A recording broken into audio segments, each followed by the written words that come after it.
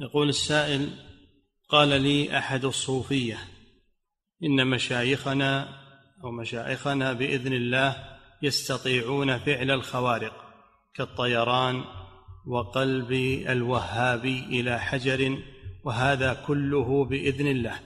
يقول كيف نرد عليه؟ هذا اللي يقول هذا هذا سحر. هذا يتبع السحرة اللي يقلبون الحقائق هذا فعل السحرة ولا هو حقيقة. سحر سحر تخييلي. اللي يقلب الأشياء كأنها على غير وضعها هذا سحر تخييلي. هذا فعل السحرة والكذبة. فأولياءهم ما يستطيعون.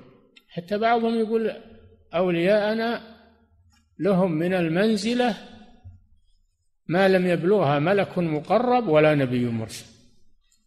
وبعضهم يقول الأولياء يخلقون الأجنة في الأرحام. هذا أعظم الشرك والعياذ بالله. نعم.